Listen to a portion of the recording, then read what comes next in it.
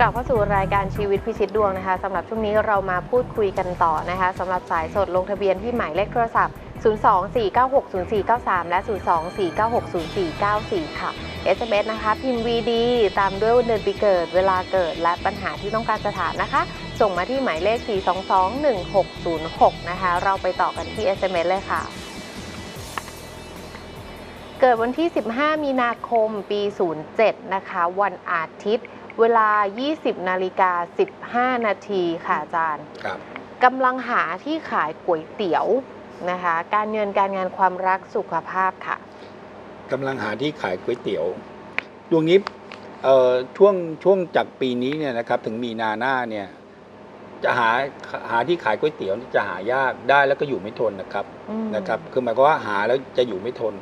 ค่ะนะครับ เพียงแต่ว่าอย่าเพิ่งลงทุนอะไรมาก ก็หาได้มันไม่ใช่หาไม่ได้นะฮะแต่หาได้แล้วจะได้ที่ไม่ดีนักและอยู่ไม่ทน ไม่ควรลงทุนทีละมากอืมๆให้ดูสถานการณ์ไปก่อน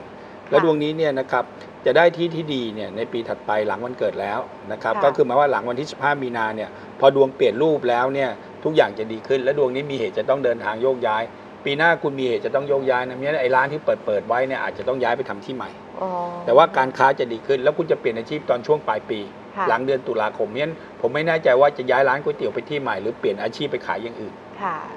ความนะครับรักค่ะเอ่อความรักนี่ในระยะนี้นี่ก็เริ่มดีขึ้นนะครับ เพราะฉะนั้นเขาบอกคนโสดจะมีแฟนนะ ถ้าคนมีแฟนแล้วเนี่ยมีโอกาสที่จะสมหวังสมรสสมรักทีเดียวค่ะนะครับ สุขภาพค่ะ สุขภาพนี่ช่วงนี้ต้องระวังนิดนึงเรื่องสุขภาพนะครับอืมเนื่องจากว่าดวงเนี้ยมีเหมือนกับว่า เคยผ่านการมีโรคประจำตัวไปแล้ว ยังไงค่ะก็ต้องดูแลให้ดีครับ นะคะ ท่านต่อไปค่ะ เกิดวันที่ 11ธันวา21 แต่ว่าไม่มีเวลาเกิดมาธันค่ะอาวาจารย์สองหนึ่ง21นะค่ะโอเคครับเมื่อไหร่จะรวยคะอาจารย์ จริงๆ ถ้าถามว่ารวยเนี่ยจะต้องมีเวลาเกิดนะครับค่ะเอาแปลว่าตอนนี้ก่อนดีกว่าเนาะนะก็ช่วงนี้อายุเนี่ย ประมาณอยู่ช่วงอายุประมาณ 38 จะเต็มละจะเต็ม 38 ละ ถ้าถามว่าจะรวยเมื่อไหร่เนี่ยอ่าในดวงนี้เนี่ยครับเขาเกณฑ์ตั้งตัวตั้งแต่ปีนี้เป็นต้นไปนะครับเพราะฉะนั้นถ้าคุณอดทนสักนิดหนึ่งเนี่ยไม่สามารถบอกว่ารวยเมื่อไหร่นะเอาแปลว่าปีหน้ามีเงินมีทองพอซื้อทรัพย์สินได้ ซื้อบงซื้อบ้าน ก็พอเป็นไปได้ครับนะคะ ท่านต่อไปค่ะ จะให้ละเอียดก็ต้องใส่ใช่เวก็ลาคือหมายว่าเดก็ด้วยปีหน้าเนี่ยเขาพอจะซื้อทรัพย์สินได้อืมบ้างนะครับก็ค่ะคือเริ่มดีขึ้นแล้วล่ะครับนะ เอาคุณพัชรินค่ะ เกิดวันศุกร์ที่ 2 พฤศจิกายน ปี พฤศ33 จิกาสามสามค่ะ งานเงินครอบครัวค่ะ เวลาเท่าไหร่เอ่ย เออเวลาไม่ทราบ อุ้ยไม่มีมาเหมือนกันค่ะอาจารไม่ย์มีเนาะครับอะคร่าวๆนะคร่าวๆถามว่าไงนะ งานเงินครอบครัวค่ะ งานเงินครอบครัว เอาเอาเอาตอนนี้ก่อนนะเรื่องงานก่อนนะครับ ตอนนี้เนี่ยในเรื่องเรื่องเกี่ยวกับเรื่องการงานเนี่ยนะก็ยังเหมือนเดิมไม่มีการเปลี่ยนแปลงนะครับ และงานก็ยังยังเป็นไปได้อยู่ ก็คือหมายความว่างานยังดำเนินไปเรื่อย ๆ แต่ที่จริงเนี่ยปัญหาอย่างหนึ่งที่เกิดก็คือว่าการเงินน่ะไม่ดีค่ะนะครับแต่งานก็ยังคงเหมือนเดิมไม่มีอะไรเปลี่ยนแปลงคือ ถ้าดีก็ดีไม่ดีก็ยังเหมือนเดิมอยู่ ไม่มีอะไรเปลี่ยนแปลง แต่การเงินน่ะไม่ดีนักอืมแต่ว่าดวงนี้ก็พอมีคนช่วยเหลือนะครับค่ะอ่าก็พอไปได้นะครับอืมครอบครัวค่ะเอ่อครอบครัวไม่ได้มีปัญหาอะไรนะยังคงราบรื่นดีอยู่นะครับค่ะ ทะเบียนรถ 1665 ค่ะ เออเลขที่ดีมากนะครับ ก็จริงๆ เป็นเลขที่ค่อนข้างดีแหละไม่ใช่ดีมากอย่างเดียวนะ แต่เพียงแต่เลขตัวนี้เนี่ยจะทำให้มีความสำเร็จแล้วก็ค้าขายได้ดีนะครับถือว่าดีครับ ค่ะ ท่านต่อไปค่ะ คุณสุภาพรค่ะ เกิดวันอังคารที่ 6 ธันวาคม ปี 03 เดี๋ยวก่อนนะค่ะ6ธันวา03 03 ค่ะ เวลาเกิด5ทุ่มครึ่งค่ะห้าทุ่มครับ23.30 นะคะ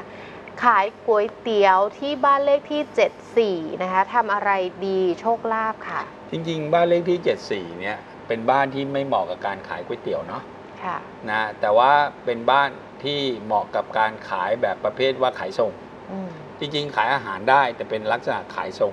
ค่ะ นะหรือว่าคล้ายๆกับว่าเอ่อไม่เหมาะกับตั้งร้านขายกินอยู่ในร้าน แต่ว่าค่ะ ขายเหมือนคนหิ้วแล้วกลับบ้านทานอย่างเงี้ยจะเหมาะค่ะกว่าอืมนะครับถ้าเป็นบ้านแบบนี้นะ แต่บ้านนี้ไม่ได้เสียหายนะฮะแต่ไม่เหมาะกับการขายก๋วยเตี๋ยวเท่านั้นแหละค่ะครับ แล้วก็ทำอะไรเดีโชคลาภค่ะ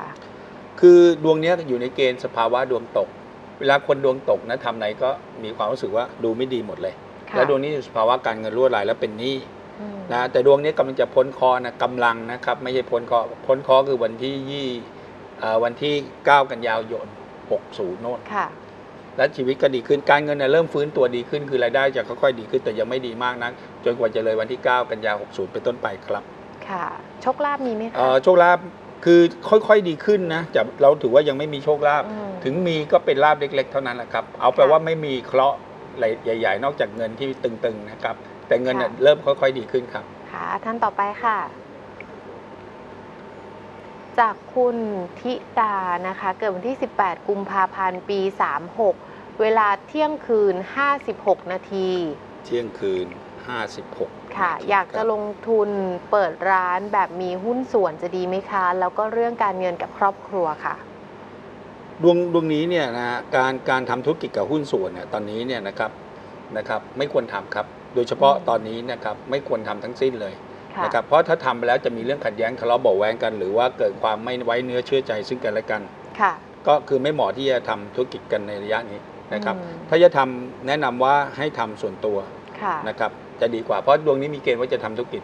ยกเว้นทำกับเครือญาติก็พอไปได้ค่ะ ครับ การเงินกับครอบครัวเอ่อค่ะการเงินในช่วงนี้ยังไงก็ไม่เหลือนะครับ เพราะว่ายังอยู่ในช่วงสภาวะเงินตึงอยู่ อืมและดวงนี้เนี่ยต้องทำใจนิดนึงนะครับว่าการเงินน่ะจะลำบากไปถึงสิ้นปี 62 คือค่ะหาเท่าไหร่ก็ใช้หมดไม่ได้หาไม่ได้นะครับ แต่หาแล้วไม่เหลือเก็บว้าจนกว่าจะเข้าปีสิ้นปี 62 แล้วเข้า 63ถึงจะมีเงินเหลือเก็บครับค่ะแล้วก็อยากบอกนิดนึงจะตั้งตัวได้จริงๆเนี่ยคือ 11 ตุลา 61 เป็นต้นไปค่ะนะครับนะคะท่านต่อไปค่ะ มาเลยค่ะ จากคุณแป๊ดนะคะ เกิดวันที่ 13 กุมภาพันธ์ ปี 18 เวลาบ่ายค่ะอาจารย์ บ่ายเท่าไหร่เอ่ย บอกว่าบ่ายเฉยๆค่ะอาจารย์ บอกไม่ทนะราบคะครับอ่าคู่ที่อยู่ด้วยกันจะแยกกันอยู่ หรือว่าอยู่ด้วยกันถึงจะดีนะคะ อาชีพควรจะทำอะไรดีคะเอ่อดวงนี้เนี่ยเนื่องจากไม่มีเวลาเกิดนะฮะเพราะฉะนั้นเราก็เอาเฉพาะเท่าที่เป็นไปได้นะค่ะอันแรกก็คือว่าช่วงเนี้ยคู่เนี่ยจะแยกกันอยู่ เนื่องจากว่ามีภาระบางอย่างทำให้อยู่กันไม่ติดนะฮะหรือว่าต้องไปไปมามาคือช่วงนี้ต้องระวังนะฮะดาวคู่ของคุณเนี่ยไม่ค่อยมีความมั่นคง คำว่าไม่มั่นคงแบ่งเป็นสองแบบนะแบบแรกก็คือไม่ค่อยได้อยู่ด้วยกัน ค่ะ ก็คือต้องไปไปมามาอย่างเงี้ยถือว่าปลอดภัย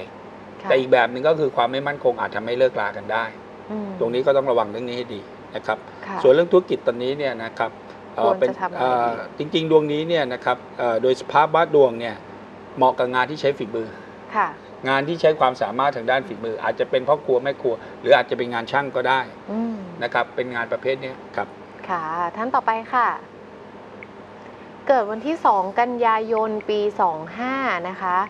เวลาเกิดอยู่ระหว่างนะคะอาจารย์ครับ7โมงเช้าถึง8โมงครึ่งเจ็ดโมงเช้าถึง8ปดโมงครึ่งเนาะค่ะ วันครับพฤหัสนะคะ ถามนะคะเรื่องของคู่ครองการเงินและการเดินทางไกลค่ะ เรื่องคู่ครองเนี่ยเขาว่าในดวงจะมีเกณฑ์เจอเนื้อคู่ภายใน 1 ปี เริ่มตั้งแต่วันที่ 11 สิงหา59 ไม่เกินวันที่ 12 กันยา 60 ค่ะนะช่วงนี้ก็จะเจอเนื้อคู่นะครับ ส่วนเรื่องการเดินทางไกลเนี่ยนะในดวงนี้นะครับ ก็เป็นไปได้ว่าจริงๆในดวงเนี่ยมีแนวโน้มว่าอาจจะเดินทางไกลในปีหน้า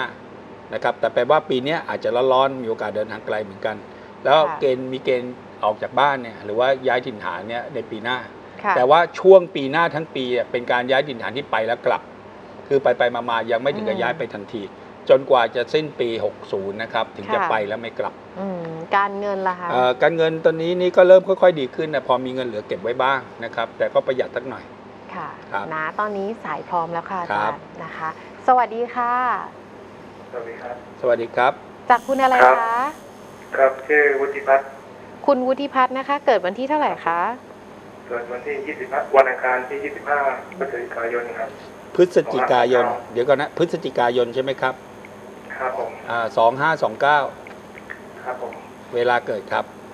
ไม่แน่ใจว่า10 58หรือว่า11 58ครับสิบเดี๋ยวห้าสิบแปดหรือสิบเอ็ดห้าสิบแปดค่ะ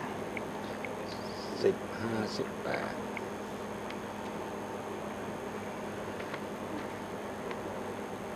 อยู่ที่จังหวัดนครศรีธรรมราชครับผม โอเค คนใต้เนาะ คนใต้ครับ คือราศีเนี่ยเป็นเป็นไปได้ว่าเกิดควบอยู่สองราศีระหว่างราศีมังกรกับราศีกุมนะครับครับเอ่อเดี๋ยวถามนิดนึงเอ่อคุณทำงานที่เกี่ยวกับพวกงานธุรกิจงานช่างอะไรหรือเปล่าหรือว่างานที่ต้องใช้แรงงานหนักๆนะฮะตอนนี้ไม่ได้ทำงานครับเพราะไม่ว่าเพิ่งพิการทางสายตามาปีกว่าแล้วไม่ก่อนหน้านี้จบที่แล้วก่อนหน้านี้ทำอะไรฮะก่อนหน้านี้เอ่อเป็น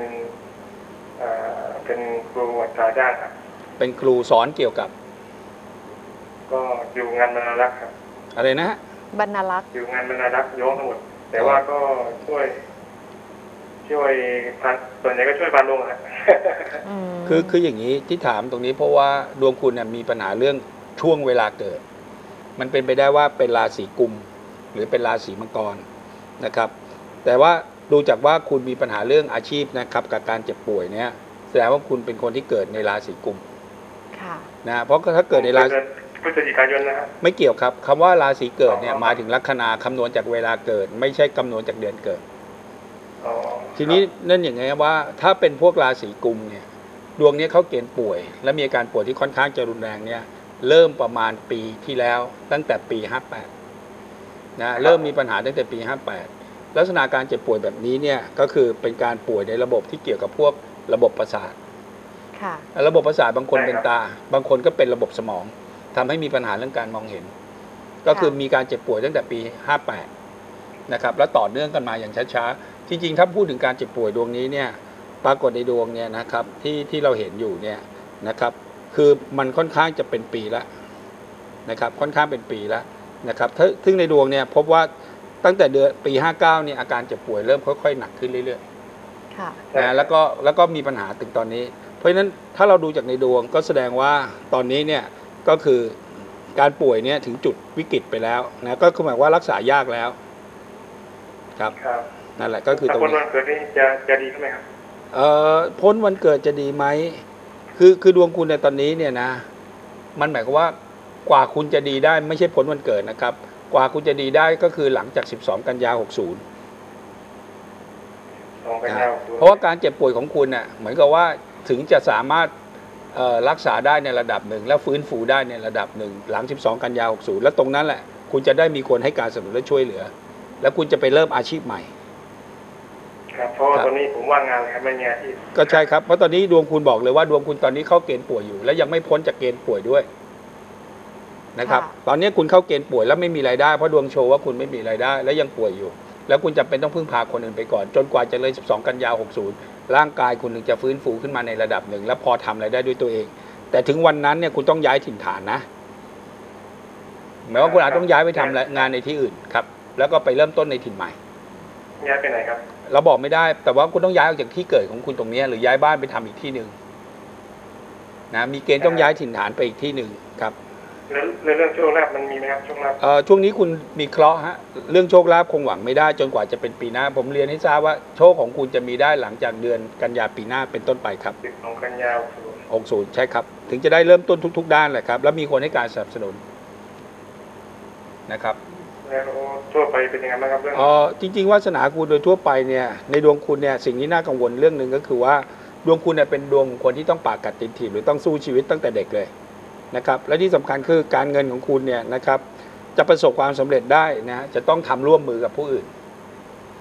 หมายความว่าคนที่จะประคุณจะประสบความสำเร็จแล้วต้องมีธุรกิจร่วมมือกัน ร่วมมือกันก็ว่าร่วมกับพัญญาร่วมกับคนในครอบครัว หรือร่วมกับพี่น้องหรือมีหุ้นส่วนนะครับคุณถึงจะเริ่มมีความประสบความสำเร็จทางด้านนี้ แต่ว่าปั้นปลายเนี่ยความสำเร็จทางการเงินของคุณเนี่ยนะจะเห็นชัดเจนเนี่ยนะครับ จะเห็นชัดเจนเนี่ยนะครับ ต่อเมื่อคุณเลยอายุของคุณไป 36 ถึงจะเริ่มก่อร่างสร้างตัวได้อย่างชัดเจนและตั้งหลักฐานได้อืมนะครับแต่ชีวิตของคุณเนี่ยก็แปลว่ามันผันผวนง่ายไงเปลี่ยนแปลงง่ายครับครับแต่ไม่เป็นไรหรอกครับ หลัง 36 คุณก็พอปักหลักได้แล้วสาธุครับครับครับค่ะแล้วเรือทะเบียนรถนะครับ มันของผมกอไก่ขอไข่หนึ่งข้าวหนึ่งระนอง 191ใช่ไหมแต่ครับ ว่าแต่ว่าผมไม่ได้ใช้นะครับอืม เออ191เนี่ยเป็นเลขที่ไม่ได้ให้โทษอะไรนะฮะแต่ก็ไม่ได้ค่ะ ให้คุณอะไรค่ะ นะคือเลขเลขตัวนี้เป็นเลขกลางๆ คือไม่ได้ให้คุณและไม่ให้โทษ แต่เลขตัวนี้เหมือนกับว่าอยู่ไม่ติดที่ และคนที่ใช้รถคันนี้มักจะใช้ได้ไม่นานต้องเปลี่ยนอยู่เสมอ ค่ะ เท่านั้นเองครับ อืม แล้วถ้าผมดูแล้วถ้าผมถามวันเกิดแฟนด้วยได้ไหมครับ ถามวันเกิดแฟนได้ครับ แฟนเกิดวันศุกร์ที่ห้าธันวาครับ สองเข้าเหมือนกัน แต่ผมไม่แน่ใจเวลาเกิดครับเอาถ้าไม่แน่ก็ลำบากนิดแหละครับเอ่องั้นไม่เป็นไรครับครับครับโอเคครับเนาะโออะเคขอบคุณมากครับครัค่ะบขอบพระคุณมากขอบคุณนะครัคะบเป็นกำลังใจครับให้นะคะ หายป่วยไวครับๆครับสวัสดีขอบณค่ะรับสวัสดีครับนะคะอะเรามาต่อกันที่ SMS นะคะ จากคุณขานิษฐานะคะ เกิดวันที่ 27 มิถุนายน ปี 11 วันพฤหัสนะคะ เวลา 14 นาฬิกา 39นาทีนะคะอะถามเรื่องของอนาคตโชคลาภเงินทองค่ะ ครับ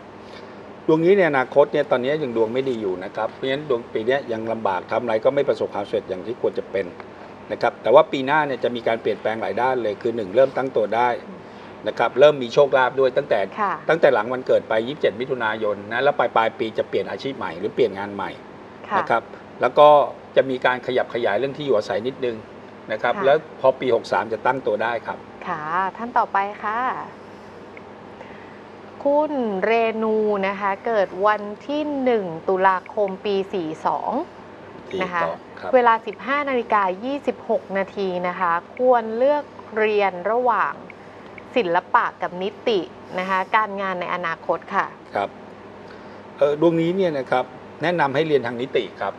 จะประสบอืม ความสำเร็จมากกว่าทางศิลปะเพราะดวงเนี้ย ถึงจะมีความสามารถทางศิลปะก็ไม่ค่อยได้ใช้ประโยชน์อะไรอืมเรียนทางนิติไปดีกว่านิคติรับเลยมีโอกาสเป็นไม่นิติถ้าคุณเป็นนิติคุณเป็นทนายที่ดี หรือไม่ก็อาจจะเป็นอัยการพิพากษาได้ครับนะคะท่านต่อไปค่ะ คุณศรีสุดานะคะ เกิดวันศุกร์ที่ 10 มีนาคมปี 10 เวลาเกิดไม่มีหลายท่านเลยค่ะวันนี้นะคะวันนี้แปลกอะเนาะให้อาจารย์ลองดูคร่าวๆนะคะ ในครับเรื่องของสุขภาพการงานการเงินค่ะ ครับเอ่อ